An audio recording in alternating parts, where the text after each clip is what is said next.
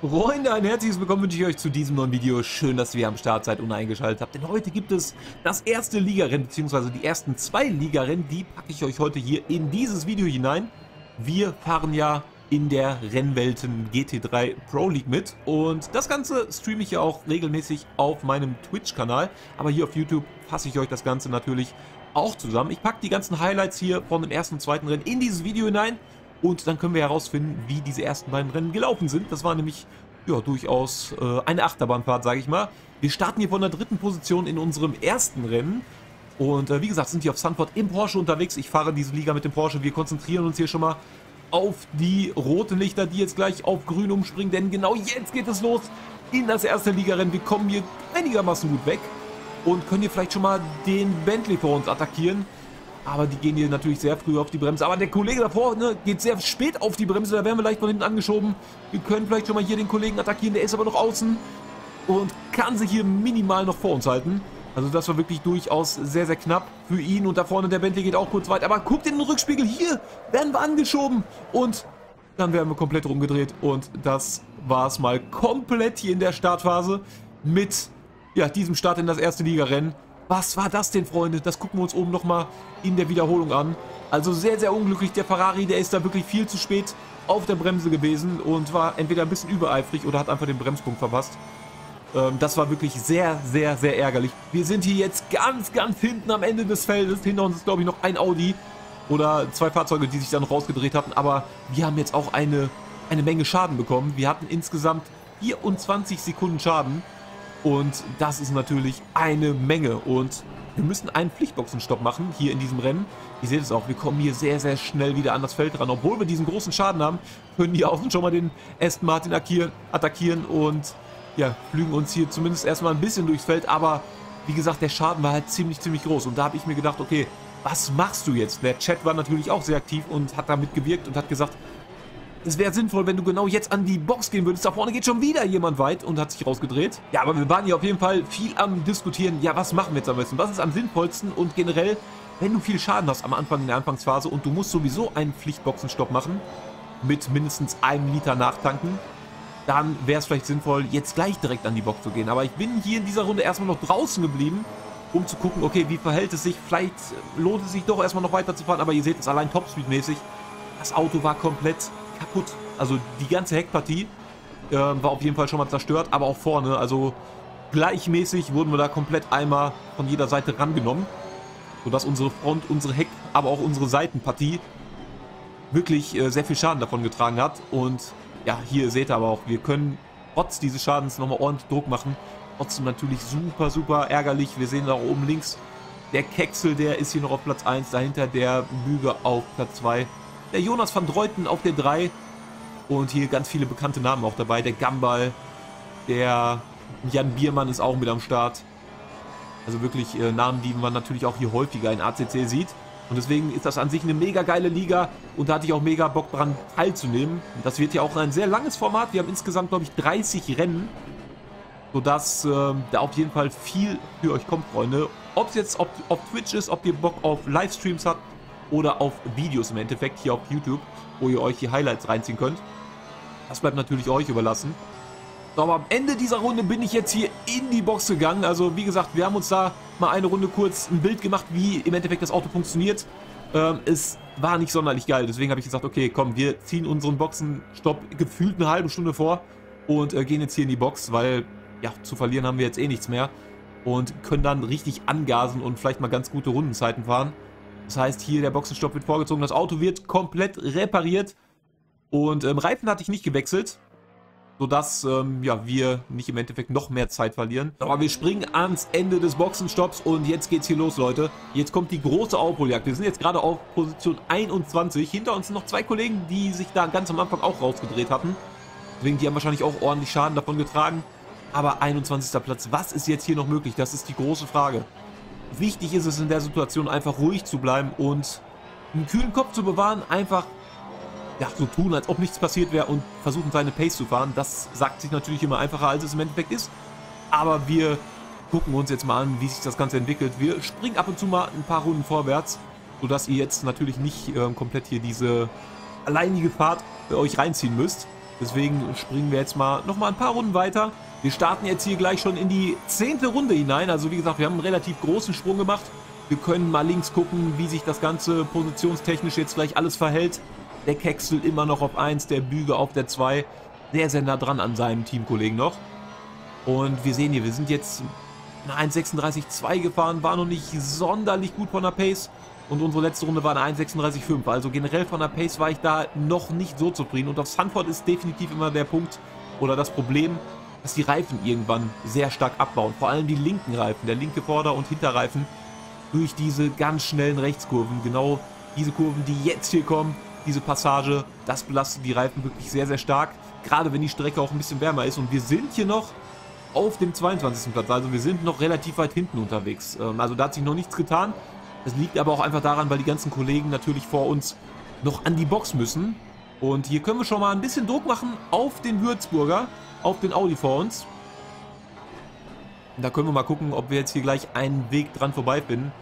Von der Pace alleine her waren wir natürlich schon besser aufgestellt als das hintere Mittelfeld oder das Mittelfeld generell. Deswegen, wir haben uns ja hier auch auf dem dritten Platz qualifiziert. Aber die Frage ist jetzt, wofür reicht es im Endeffekt? Reicht es vielleicht sogar noch irgendwie für die Top 15 oder vielleicht sogar für die Top 10? Man konnte es wirklich nicht einschätzen und das war im Endeffekt dann diese Spannung, die du hattest. Sondern es war einfach diese Ungewissheit und hier blinkt der Kollege und da wurde es mal sehr, sehr eng. Da habe ich nicht mit gerechnet, dass er da auf einmal schon ein bisschen langsamer wurde und die Linie natürlich ganz eng halten wollte wegen der Boxeneinfahrt. Aber das haben wir auf jeden Fall auch überstanden. Das heißt jetzt Platz 21. Da haben wir uns ja gerade schon mal wieder gefunden. Und jetzt heißt es, weiter konzentrieren. Wir springen nochmal ein paar Runden weiter. Wir sind jetzt hier gleich schon in der 20. Runde, Freunde. Und vor uns der Kleinschmidt im Aston Martin. Da können wir jetzt gleich schon mal ordentlich Druck machen. Sind mittlerweile auf der 19. Position angekommen, aber unsere Rundenzeiten, die waren nicht gut, Freunde. 1,37,0 die letzte, die beste bisher immer noch eine 1,36,2. Und das werden wir vor, vor allem gleich im zweiten Rennen sehen. Da ist pace-technisch, da habe ich nämlich am Setup nochmal hier und da was verändert. Pace-technisch deutlich, deutlich mehr drin gewesen. Und ja, wir müssen jetzt mal gucken, ob wir hier an dem Aston Martin da vorne, ob wir da jetzt gleich einen Weg dran vorbeifinden. Sandford natürlich auch eine Strecke, die zum Überholen überhaupt nicht so gut geeignet ist, um es mal vorsichtig zu sagen. Also selbst wenn du da einigermaßen schneller ist, du musst erstmal hier auch vorbeikommen. Das ist diese große Kunst hier auf Sandford. Aber das werden wir jetzt natürlich gleich herausfinden. Vorne immer noch der Kexel, der sich mittlerweile einen Vorsprung von über 5 Sekunden rausgefahren hat auf seinen Teamkollegen. Und dahinter schon der Gambal. Also der mit dem Aston Martin, der hat sich hier auch ordentlich durchs Feld geflügt. Der war gerade ein paar Plätze weiter hinten. Der Jonas van Dreuten zurückgefallen auf die vierte Position. Der Jan Biermann auf der 13. Position. Der müsste aber auch schon gestoppt haben zu diesem Zeitpunkt. Oder er hatte da zwischenzeitlich irgendwo einen Fehler eingebaut. Aber wir gucken mal, ob wir jetzt hier den Ästen gleich attackieren können. So, und jetzt hier in dieser schnellen Passage, da sind wir absolut dran am Ästen. Ihr seht es auch, von der Linie her passt das alles ein bisschen besser. Wir können hier ordentlich Druck machen. Hier überholen ist natürlich sehr, sehr schwierig. Es sei denn, hier macht er einen kleinen Fehler. Da geht er ein bisschen weiter, können wir uns besser positionieren. Gehen hier auf die Innenseite. Und da geht er auch ein bisschen weit. Das heißt, wir haben hier die Tür offen und können uns die Position erobern. Das heißt, wir sind jetzt hier auf dem 17. Platz. Und jede Position ist im Endeffekt wichtig. Gucken, ob ich später hier irgendwie die Punkte einblenden kann. Aber du musst einfach Punkte sammeln. Gerade bei so einem Format, wo du sehr viele Rennen hast. Und äh, für den ersten Platz gibt es 50 Punkte. Und das wird dann immer weiter natürlich nach unten gebrochen. Deswegen hast du hier auch, sag ich mal, selbst wenn du nur auf so einer Position irgendwo unterwegs bist, jede Position sind wertvolle Punkte. Und da sollte man zusehen, dass man wirklich um jede Position natürlich kämpft. Das sollte immer der Ansporn von einem Simracer oder von einem Rennfahrer sein. Aber wir machen nochmal einen Sprung von ein paar Runden, Freunde. Wir sind jetzt hier auf dem Weg in die 30. Runde gleich. Also es geht hier gleich schon in die Schlussphase von dem ersten Rennen. Und äh, vor uns der Gepard im AMG. Das heißt, das könnte sogar vielleicht die 12. Position sein. Wir sind jetzt gerade auf der 13. Position. Und da waren wir zum ersten Mal an so einem Punkt, wo es auf jeden Fall schwierig wurde mit dem Überholen. Also ich war ja selbst mit meiner Pace überhaupt nicht zufrieden in diesem Rennen. Und man hat auch gemerkt, okay, ich habe mich gerade jetzt hier auch in diesem Zweikampf, habe ich mich schwer getan, irgendwo mal zu behaupten oder Druck zu machen. Also ich habe selber auch hier und da Fehler eingebaut, minimale Fehler. Und wir müssen auch ein bisschen das Wetter im Auge behalten. Ihr seht es, es ist sehr bewölkt. Es ist zwar relativ warm, aber es ist sehr bewölkt und vielleicht kann es gleich sogar anfangen zu regnen. Das wäre natürlich Der absolute Super-GAU mit diesen abgefahrenen Reifen. Und wir sehen es, der Scheibenwischer geht an. Ihr seht jetzt noch keine Regentropfen hier, glaube ich, in der Wiederholung. Aber doch, jetzt kann man es auch sehen. Es fängt hier an zu regnen, Leute. Und das wird jetzt nochmal super interessant, weil, wie gesagt, mit abgefahrenen Reifen, die waren wirklich schon sehr, sehr abgefahren. Also das hat sich absolut nicht gut angefühlt. Und die Rundenzeiten, die gingen auch immer weiter nach unten. Werden wir gleich auch sehen.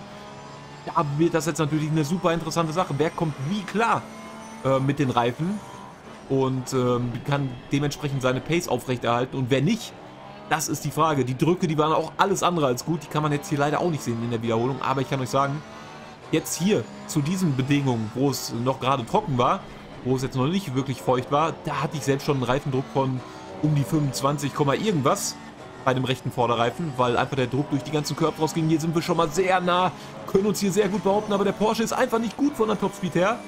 Das heißt, ihr seht es hier, der AMG, der kann sich noch behaupten ohne Probleme. Aber ich habe es natürlich versucht. Ich war hier sehr spät auf der Bremse. Außenrum ist aber meistens keine gute Wahl in dieser Kurve. Das heißt, wir konnten uns nur mal hier zeigen. Wir können natürlich einen besseren Exit hier haben, aber du kommst hier nicht vorbei. Und jetzt wurde die Strecke natürlich immer, immer feuchter und nasser. Und ihr seht es, es fängt so ganz leicht an zu rutschen. Und das hast du jetzt von Runde zu Runde. Hast du das gemerkt, dass die Pace jetzt immer weiter abgebaut ist, dass es immer schwammiger im Post-Feedback wurde und dass es wirklich super ekelhaft wird. Also die letzten Runden, die hatten es wirklich absolut in sich. Da musste man sich sowas von konzentrieren, dass man die Karre hier nicht irgendwo wegfeuert und dann, wie gesagt, es sind wertvolle Punkte, wenn du hier auf dem 13. Platz unterwegs bist und dann mal irgendwie einen ganz fetten Fehler einbaust und noch wertvolle Position verlierst. Das sind wertvolle Punkte, die dir am Ende der Saison fehlen können. Deswegen absolute Konzentration jetzt hier auf die Schlussphase. Können wir hier Druck machen auf den AMG? Beziehungsweise können wir uns vielleicht sogar irgendwo gleich vorbeisetzen, aber dafür müsste er schon einen Fehler machen.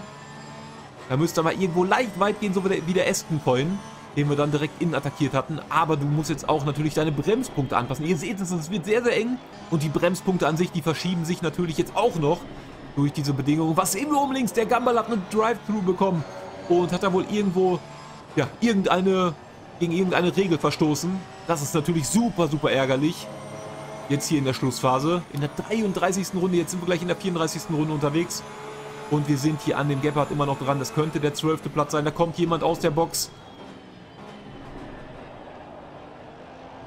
Und wir sind jetzt hier nur eine 1,42,2 gefahren, Leute. Das sind 6 Sekunden hinter unserer besten Zeit in diesem Rennen. Also da seht ihr schon, wie die Pace im Endeffekt jetzt hier gedroppt ist. Absolute Ausnahmesituation jetzt hier zum Schluss des Rennens. Und wir springen jetzt hier gleich schon in die letzte Runde rein, Freunde, im ersten Rennen. Und wir sind hier sehr, sehr, sehr nah an dem AMG dran. Können uns hier links positionieren. Er ist hier gezwungen, so ein bisschen auf der Innenseite zu bleiben. Das heißt, hier können wir vielleicht mehr Schwung holen. Ist aber sehr, sehr schwierig. Ihr seht es. Ich wollte da voll aufs Gas gehen, sehr früh aufs Gas gehen. Und da wird die Karre direkt unruhig. Hier letzte Kurve müssen wir natürlich uns auch immer konzentrieren, dass wir hier nicht zu weit rauskommen. Sehr riskant. Vor allem, wenn die Wiese da auch leicht nass wird dass du da mal die Kontrolle verlierst. Aber hinter uns ist auch noch ein Aston Martin direkt bei uns im Nacken. Und hier bin ich sehr spät auf der Bremse. Gehe hier ein bisschen weit. Da kann uns sogar vielleicht der Aston Martin hier innen attackieren. Der zeigt sich auch hier innen. Aber hier konnte ich mich nochmal behaupten. Da konnte ich mich glücklicherweise noch irgendwie behaupten.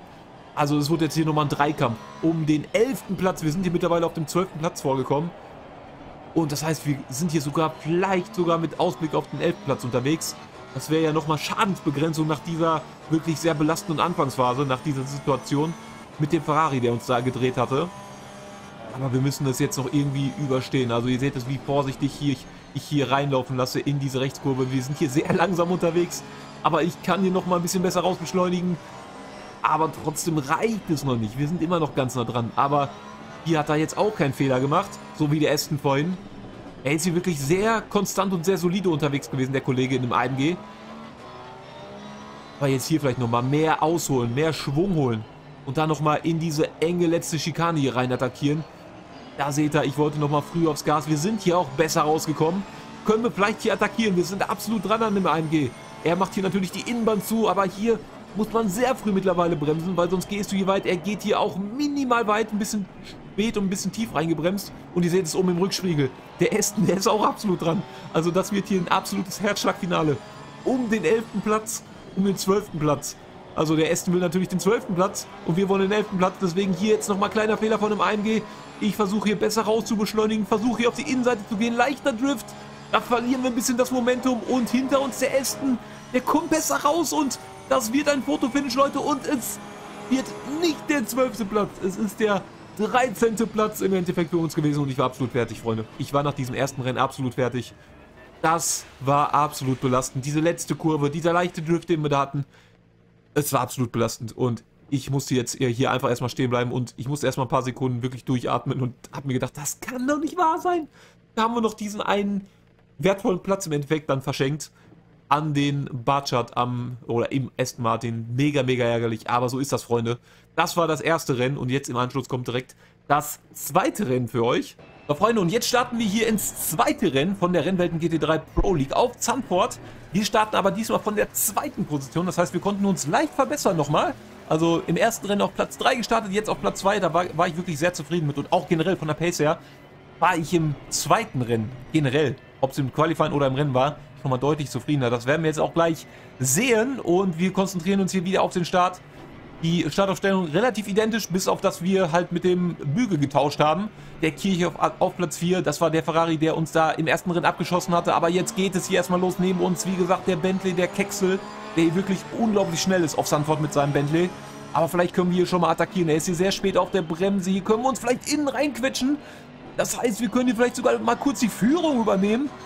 In dem zweiten Ligarennen hier auf Sandford, aber hier wollte ich nicht all in gehen und hier dazwischen gehen. Aber ihr geht hier nochmal minimal weit, wir sind hier außen, überstehen wir diesmal hier diese äh, enge Linkskurve, wo wir gerade abgeschossen worden sind. Hier hat der Büger uns nochmal leicht attackiert, aber da konnten wir uns behaupten.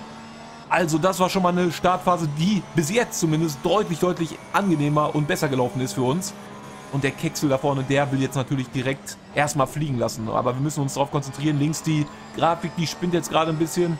Also Platz 8 stimmt natürlich nicht, Freunde. Wir sind hier immer noch auf dem zweiten Platz. Aber müssen gucken, dass wir hier uns immer einen guten Vorsprung auf den Bentley, vor allem hinter uns auch herausfahren. Weil auf der Start- und Zielgeraden, da sind wir hier ein gefundenes Fressen. Und das ist diese große Schwäche vom Porsche im Endeffekt. Dass du, wenn du jemanden relativ nah hinter dir hast, schnell attackiert werden kannst. Aber gerade in dieser Passage hier, in dieser engen Passage, da kannst du dich mit dem Porsche normalerweise sehr, sehr gut absetzen. Aber gerade in der Anfangsphase wenn du da noch nicht zu 100% auf Pace bist, da kann es hier, hier sehr, sehr schnell gehen mit, den, äh, mit dem Platztausch sozusagen. Aber wenn alles mal im Rennbetrieb ist, dann kann es hier auch schwer werden auf Sandford. Wie gesagt, keine Strecke, wo du gut überholen kannst. Aber erstmal drauf konzentrieren. Hier die erste Runde ist jetzt gleich absolviert. Der Keksel, der macht hier schon ordentlich Feuer, ist jetzt hier schon über 8 Zehntel vor uns. Und hier müssen wir schon mal auf die Verteidigungslinie gehen, denn der Bentley hinter uns attackiert uns und der ist jetzt hier schon deutlich vor uns. Aber vielleicht können wir hier nochmal irgendwie dazwischenhalten oder dagegenhalten. In, ganz auf der Innenbahn. Und das war wirklich super, super knapp. Da haben wir sehr hart dagegen gehalten, aber alles absolut im Rahmen, ohne Berührung. Also, das war hier noch meine ja, letzte Hoffnung, dass wir da irgendwie innen dagegenhalten konnten. Aber es war wirklich absolut am Limit. Also, da muss man echt aufpassen, weil wenn du da nur ein bisschen zu spät auf der Bremse bist und dich da mit einem Harakiri-Manöver noch behaupten willst, dann kannst du die Kollegen auch mal ruckzuck irgendwie rausschieben. Aber es hat noch funktioniert, da hat der Büge wirklich sehr gut mitgespielt. Auch wenn es natürlich hart war, weil er war schon deutlich vor mir. Aber er hat die Tür natürlich auch offen gelassen, deswegen. Also es war eine Mischung aus Mitspielen und die Tür offen lassen. Und mal gucken, ob wir jetzt hier irgendwie an dem Keksel dranbleiben können. Also gerade in der ersten Runde hat es natürlich so ausgesehen, dass er sich hier schon absetzen kann. Aber gerade jetzt, ja, ist die Lücke nicht größer geworden. Im Gegenteil, nochmal wieder ein bisschen kleiner geworden. Also es war die ganze Zeit hier am Anfang so bei 7, 8 Zehnteln. Aber der Bentley ist natürlich auch auf die Rennpace gesehen. Vom Reifenverbrauch, vom Spritverbrauch und von allem nochmal deutlich angenehmer als der Porsche an sich. Also der Porsche ist auf eine Runde gesehen wirklich sehr, sehr gut. Aber auf eine Renndistanz äh, hat der Porsche definitiv, definitiv seine Schwächen, sage ich mal. Und deswegen ja, müssen wir mal gucken, wie sich das Ganze diesmal fällt. Auch mit den Reifen, mit dem Wetter. Das war ja im ersten Rennen äh, ja, ein absolutes Herzschlagfinale, was wir da gerade gesehen haben. Auch mit dem Regen. Also da hat sich wirklich alles zugespitzt. Aber hier sieht es jetzt schon mal deutlich, deutlich freundlicher aus von den Bedingungen. Wir haben die zweite Runde hier absolviert. Diesmal kann der Bügel hier nicht attackieren. Und wir sehen es jetzt schon eine schnellere Runde als im ersten Rennen. Also hier schon mal eine Zehntel nochmal gefunden. Aber das war natürlich noch nicht das Ende. Also wie gesagt, ich war von der Pace an sich deutlich zufriedener und habe mich hier deutlich schneller zurechtgefunden, weil ich da im Setup auch hier und da gewisse Dinge umgestellt habe.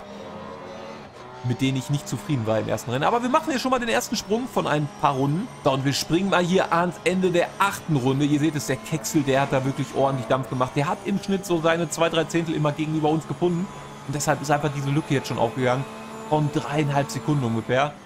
Wir konnten es ab und zu mal wieder minimal schließen, aber dann hat er im Endeffekt die nächsten Runden wieder ja, seine zwei, drei Zehntel gefunden und die Lücke immer weiter ein bisschen aufgebaut. Ihr seht es, das war jetzt hier meine schnellste Rennrunde, beziehungsweise nicht meine schnellste Rennrunde, aber eine 1,35,8 und unsere schnellste Rennrunde war ja auch eine 1,35,8, aber nur minimal über unserer schnellsten Rennrunde war die letzte Runde jetzt hier und da war ich schon wirklich sehr zufrieden mit.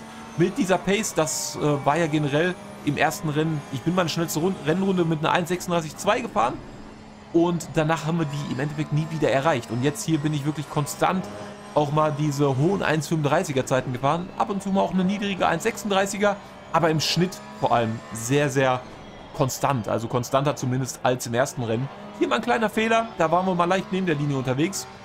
Und wir sehen auch hinter uns, hat sich auch ein bisschen was getan, der Lindner in Porsche. 1,3 Sekunden. Der hat den Bügel irgendwo überholt. Da hat der Bügel wohl einen Fehler gemacht im Bentley. Aber der ist auch noch absolut dran am Lindner. Also dahinter geht es auch noch sehr eng zur Sache. Und 1,3 Sekunden hatten wir jetzt gerade, jetzt nur noch 0,9 Sekunden. Das heißt, durch diesen kleinen Fehler, den wir da gerade gemacht haben, kommt der Lindner jetzt auch wieder ran. Und das ist natürlich kein gutes Gefühl, wenn du den Druck dann von hinten kriegst und hier und da mal minimalen Fehler gemacht hast. Die Jungs Druck machen und da musst du dich hin und wieder mal sammeln und ähm, ja, die, die Pace mal wieder irgendwie zusammenkriegen. Deswegen, also wir gucken jetzt mal. Knapp vier Sekunden haben wir jetzt hier auf den Keksel. Und mal gucken, was die Zeitenabstände oben links jetzt sagen zu dem Lindner. Wieder bei einer Sekunde. Also es hat die ganze Zeit hin und her geschwankt. Wenn ich meine Pace gebracht habe, jetzt hier in dieser Runde war es zum Beispiel nur eine 1,36,5. Wenn ich meine Pace so mit einer hohen 1,35er oder einer niedrigen 1,36er gefahren bin, dann konnte ich den Abstand eigentlich konstant ein kleines bisschen aufbauen auf den Lindner. Aber wenn du diese Fehler machst, dann sind die Jungs direkt wieder da. Und das sollte man definitiv deshalb vermeiden. Und wir springen hier nochmal ein paar Runden weiter. Und wir sind jetzt hier gleich in der 19. Runde. Und da kommt schon die ersten Überrundungen. Der Keksel natürlich immer noch weiter vorne. Hat seinen Abstand noch weiter ausgebaut auf uns. Werden wir auch gleich oben links sehen. Jetzt sind es mittlerweile 6 Sekunden die er hier Vorsprung hat. Und nur eine 1,36,9 von uns jetzt. Der Lindner ist immer noch bei 1,1 Sekunden ungefähr. Das lag aber jetzt auch wieder an dieser Runde, die ich jetzt hier hatte, die von der Pace her wirklich nicht gut war. Und wir müssen ja auch überlegen, wir haben ja auch noch ein Boxenstoppfenster. Beziehungsweise wir haben kein Fenster, wir haben einen Pflichtboxenstopp. Das heißt, den können wir machen, wann, wann wir im Endeffekt wollen. Aber das Problem ist, wenn du jetzt zur Halbzeit des Rennens, das ist ja meistens ein sehr beliebter Punkt, aber hier auf Sandford, wenn du im Verkehr rauskommst, hast du nichts gewonnen. Deswegen macht es hier vielleicht Sinn, bis ganz zum Schluss zu warten. Aber da muss auch wirklich alles glatt laufen, wenn hier zum Schluss alle ihren Pitstop einlegen. Und wenn du da irgendwo einen Fehler machst oder ja, da wertvolle Sekunden verschenkst, dann kann das hier ausschlaggebend sein. Zwischen Podium und Nicht-Podium oder zwischen zweiten und dritten Platz. Das sollten wir definitiv auf dem Schirm haben. Hier 1,2 Sekunden, immer noch identisch die Rundzeiten, beziehungsweise die Abstände. Also es war wirklich ein Kampf mit Messer zwischen den Zähnen um jede Zehntel das war wirklich ultra, ultra spannend. Auch wieder nicht die direkten Zweikämpfe auf der Strecke, aber diese Abstände, die man die ganze Zeit im Auge haben musste und diese Anspannung, keinen Fehler zu machen, das sind ja auch manchmal die, die Rennen, die diese Spannung im Endeffekt ausmachen. Aber jetzt hier irgendwie diese Überrundung ähm, hinkriegen, ohne dass wir möglichst wenig Zeit verlieren. Aber er hat hier die blaue Flagge bekommen, macht hier aber noch nicht Platz. Das kostet jetzt hier natürlich minimal Zeit. Aber hier kannst du in der letzten Kurve auch relativ wenig Platz machen. Hier gehen wir noch mal kurz weit. Der Aston bleibt hier immer noch vorne und wollte hier immer noch keinen Platz machen. Also hier hätte eigentlich die Möglichkeit gehabt, mal kurz vom Gas zu gehen. Macht er jetzt aber nicht. Das heißt, wir müssen jetzt hier gucken, dass wir irgendwie, ja, am besten jetzt hier vorbeikommen. Und jetzt geht er hier auch auf die rechte Seite rüber, lässt uns hier vorbei. Ein bisschen später, als es mir im Endeffekt lieb war, aber es hat jetzt nicht viel Zeit gekostet. Vielleicht minimal zwei, drei Zehntel oder so. Und dadurch sehen wir jetzt auch der Lindner 0,7 Sekunden. Das hat ihm jetzt hier in die Karten gespielt. Deswegen ist er jetzt hier wieder näher rangekommen. Der Kexler ist nochmal weiter äh, weggekommen von uns. 6,6 Sekunden. Mal gucken, was die nächste Zeitrechnung sagt. Also es sind jetzt knapp schon 7 Sekunden auf den Kexel. 6,8 Sekunden und der Lindner wieder innerhalb dieser 1 Sekunde. Also es war wirklich dieser Kampf um jede Zehntel und wir machen wieder einen Sprung. Wieder ungefähr 10 Runden weiter und der Abstand ist jetzt ungefähr gleich geblieben nach vorne, 6,6 Sekunden, aber nach hinten.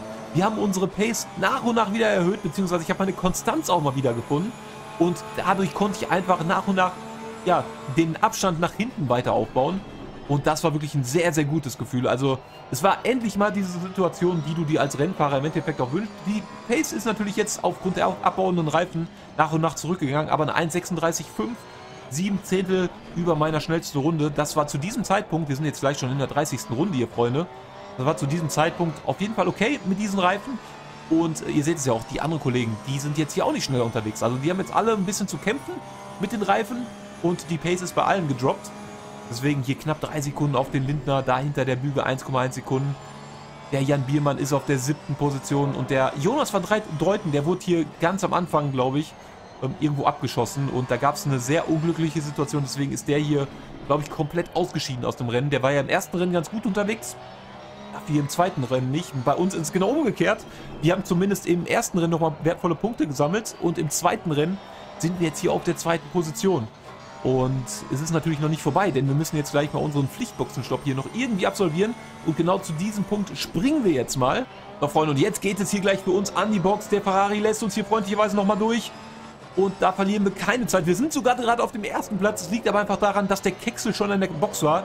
Und der Lindner 3,9 Sekunden. Wenn du diesen Boxenstopp mal richtig verkackst, dann können diese 3,9 Sekunden auch mal ganz schnell weg sein, Freunde. Ganz, ganz schnell. So, hier spätes Anbremsen. Pitlimiter rein und ab die Fahrt, Freunde. Wir wollen jetzt gucken, ob wir den Boxenstopp hier einigermaßen gut hinkriegen und ob diese knapp vier Sekunden ausreichen, um uns auf den Lindner zu behaupten. Der ist nämlich jetzt an uns vorbeigegangen und mal gucken, ob wir da gleich, ja, wenn er hier seinen Boxenstopp absolviert, den muss er nämlich auch noch machen. Aber hier erstmal gucken, werden wir noch hochgebockt? Oder werden wir direkt hochgebockt? Ja, das sieht gut aus, da musst du nicht korrigiert werden. Es wurde nur ein Liter nachgetankt, das ist nämlich Pflicht. Es werden keine Reifen natürlich selbstverständlich gewechselt hier in den letzten ein, zwei Runden. Und Freunde, jetzt geht es hier in die absolute Schlussphase. Hinter uns kommt ein AMG, aber das ist ein zu überrundender. Also der hat eine Runde Rückstand auf uns. Da müssen wir uns keine Sorgen machen. Der Keksel, der müsste jetzt hier schon vorbei sein. Links sehen wir noch die Grafik. Da sehen wir noch den Lindner auf 1 und den äh, Mavix auf 2, unsere Wenigkeit, und den Keksel auf 3. Aber mal gucken, wenn sich das jetzt gleich hier aktualisiert. Der Lindner natürlich immer nach vorne in Runde 36 und das sind jetzt hier die letzten zwei Runden ungefähr. Jetzt sehen wir es wieder. Der Lindner auf der 1, der Keksel auf der 2. Mal gucken, wie der Abstand ist zu dem Keksel. Ob der größer oder kleiner geworden ist. Und das sind nur noch 4,9 Sekunden. Okay, da haben wir minim minimal Zeit gut gemacht. Ungefähr 2 Sekunden haben wir da gut gemacht auf den Keksel. Das heißt, 4,9 Sekunden ist natürlich trotzdem noch viel zu viel für die letzten Runden. Da vorne sehen wir noch den Bentley. Aber der wird jetzt hier auch auf Nummer sicher gehen. Also der wird jetzt hier nicht mehr absolut am Limit fahren. Du kannst diese 4,9 Sekunden natürlich auch optimal verwalten. Und ich habe mir gedacht, okay, ich muss jetzt aber noch einigermaßen pushen. Wenn der Lindner nochmal minimal besseren Boxenstopp hat und hier durch irgendwelche Gründe noch vor uns aus der Box kommt. Deswegen musste ich hier versuchen, direkt auf Pace zu kommen. Aber mal gucken, wo jetzt im Endeffekt der Lindner rauskommt. Das ist jetzt hier super spannend, Freunde. Das müsste jetzt auch gleich hier in die letzten Runden gehen. So, Freunde, und jetzt geht es hier auf die Stadt und Ziel ein letztes Mal. Es geht in die letzte Runde. Da vorne sehen wir den Hexel nochmal. Wo, wo kommt der Lindner raus? Der müsste jetzt hier gleich aus der Boxenausfahrt rauskommen. Aber wir haben es geschafft, uns zu behaupten vor dem Lindner. Er ist jetzt aber auch nochmal näher rangekommen. Werden wir gleich in den Abständen oben sehen. Also das war gar nicht mal so viel Luft, die wir da hatten. Also oben wird der Lindner jetzt hier noch als erster geführt, aber das müsst ihr jetzt hier jeden Moment umswitchen. Genau jetzt sind wir nämlich wieder auf der zweiten Position und wir gucken mal auf den Abstand. Das sind jetzt noch 2,9 Sekunden, also es waren schon mal knapp 4 Sekunden. Ist er definitiv minimal näher rangekommen. Vielleicht hat er die Boxeneinfahrt ein bisschen besser getroffen. Ja, Stop insgesamt war einfach ein bisschen besser. Deswegen, also du brauchtest auf jeden Fall schon diesen 3-4 Sekunden Vorsprung, um dich hier zu behaupten. Natürlich auch ohne Fehler, weil hätte ich da einen Fehler gemacht beim Boxenstopp, das hätte uns definitiv diese Position kosten können. Aber das sind jetzt hier die letzten Kurven, Freunde. Die letzten Kurven in diesem zweiten Rennen. Noch ein letztes Mal hier die letzten zwei Kurven überstehen, Freunde. Und dann haben wir die zweite Position hier im zweiten Rennen und gesichert und sehr viele wertvolle Punkte gesammelt. Und das erste Rennen quasi so ein bisschen ausgeglichen. War natürlich super ärgerlich, dass wir das erste Rennen da so verkackt haben, aber das zweite Rennen hat dann umso besser geklappt. Mit eurer Unterstützung im Chat hat das hier auf jeden Fall jetzt für den zweiten Platz gereicht und damit war ich wirklich super happy. Also der Keksel vorne, der war wirklich unglaublich schnell in diesem Rennen unterwegs. Da hatten oder hätten uns im Endeffekt zwei, drei Zehntel pro Runde gefehlt mit einem leicht besseren Setup vielleicht noch oder hier und da äh, mit ein bisschen mehr Training hätte es vielleicht drin sein können, weil der Porsche ist hier wirklich extrem gut auf Sandford. Und aber insgesamt wirklich super zufrieden mit dem zweiten Rennen. Freunde, ich hoffe, es hat euch gefallen, diese Zusammenfassung hier von meinen ersten zwei Rennen. Wie gesagt, wenn ihr live dabei sein wollt, schaltet auf jeden Fall heute Abend um 18.30 Uhr, 19 Uhr bei Twitch ein. Ich verlinke auch unten meinen Kanal nochmal in der Videobeschreibung. Ich hoffe, wir sehen uns dann im Livestream. Ansonsten im nächsten Video, wenn die nächsten zwei Rennen zusammengefasst werden. Es geht nämlich nach Kialami und da freue ich mich extrem drauf. Ich hoffe, ihr seid am Start, Freunde. Wir sehen uns im nächsten Video. Macht's gut. Ciao. Ciao.